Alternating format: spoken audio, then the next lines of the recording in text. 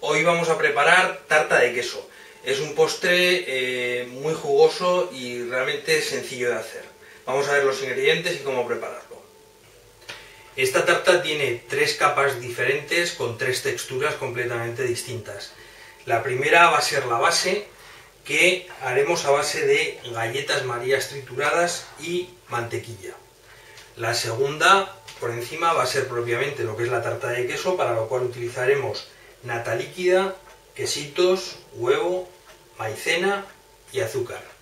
Y por último, en la parte superior le pondremos una capa de mermelada de, de arándanos con gelatina para que quede bien sujeta y bien espesa. Vamos a ver cómo lo preparamos todo. En primer lugar vamos a triturar las galletas María, en este caso con esta trituradora, pero si no disponéis de ella pues se puede hacer con metiéndolas en una bolsa y machacándolas con el almidez o con cualquier otro utensilio.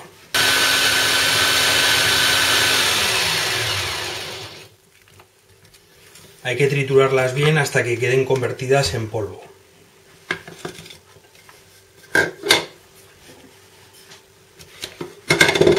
De aquí las pasaremos a un bol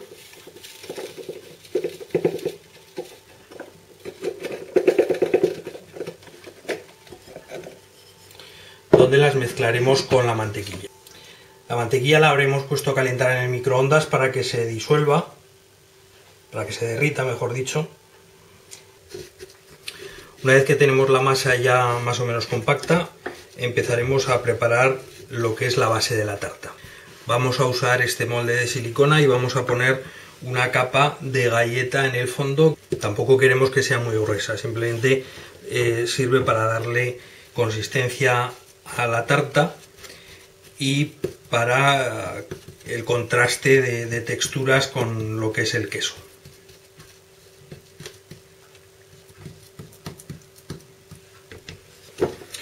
Una vez que la tengamos preparada, lo que vamos a hacer es ponerla en el congelador mientras preparamos el resto de, la masa de la tarta de queso.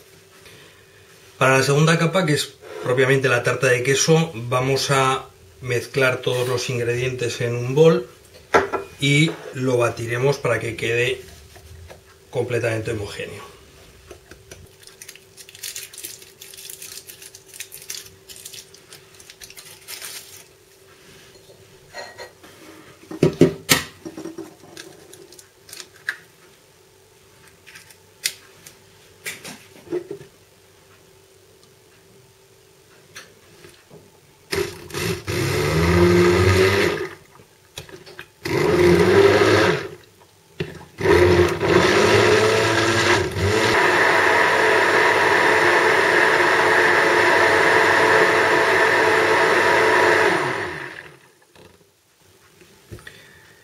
Cuando ya tengamos la base un poquito endurecida y el horno lo tengamos ya caliente, pondremos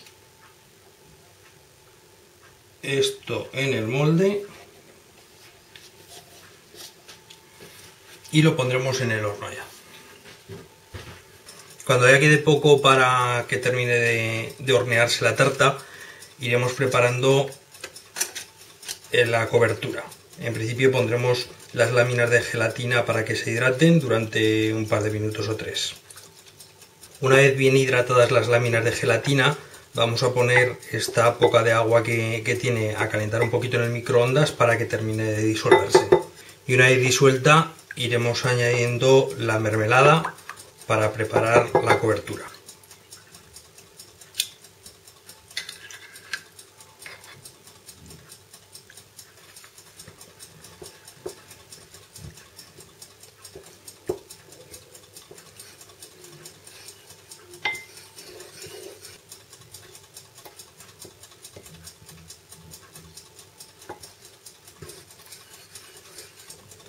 Para comprobar si la tarta ya está terminada, con una aguja pincharemos y comprobaremos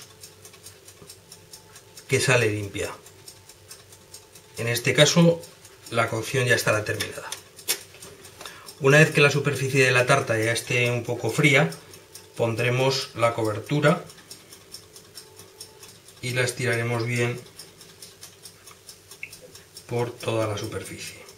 Y ahora sí que ya la dejaremos que se enfríe bien, que la gelatina cuaje y cuando ya esté bien fría la podemos meter en la nevera.